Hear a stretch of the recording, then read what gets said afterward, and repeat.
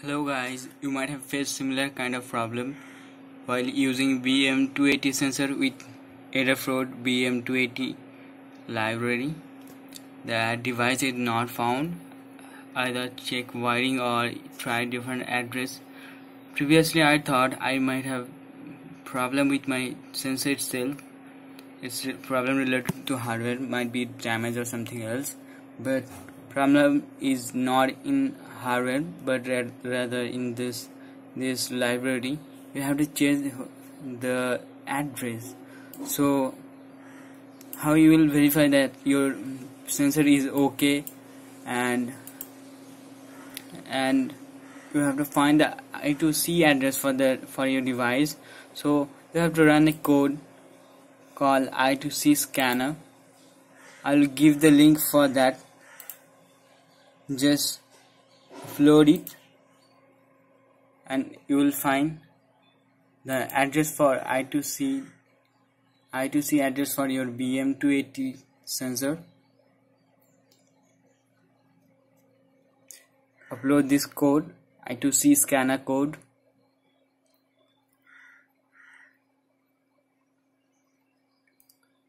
Once it's uploaded open serial monitor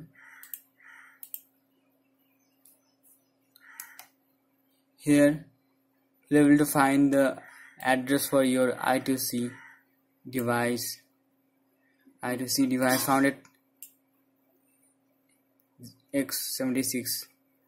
Okay, so now you have to go to the library section. Basically, you have to go to the PC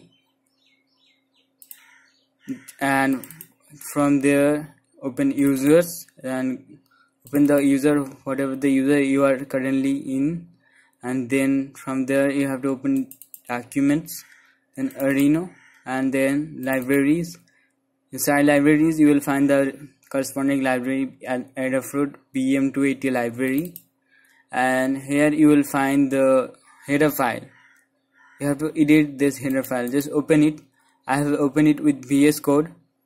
Here you can see. So here you can see that the address is 77 so whatever the address we found earlier while scanning we found that our device had address 76 so we have to change the address here.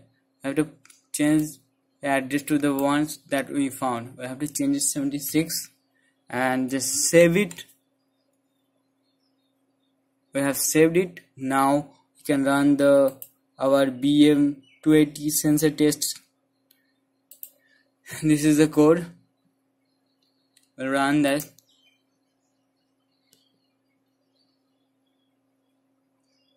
Just wait a bit. Let it upload.